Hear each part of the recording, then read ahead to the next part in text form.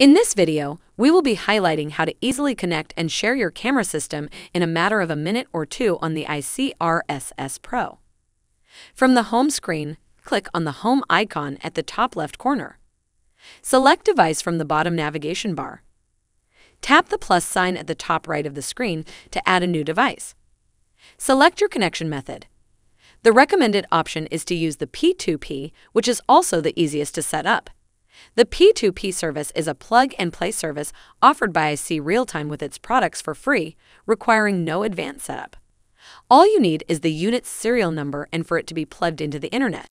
Once you select P2P, scan the QR code from your unit's P2P menu found under Network Settings, or you can manually enter the unit's serial number.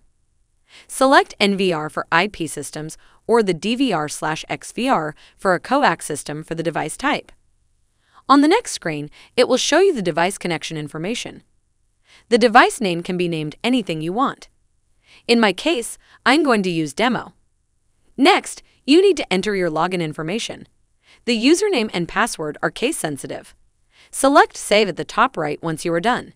The app will establish a connection and load your cameras. Thanks for watching. To learn more, please visit icrealtime.com.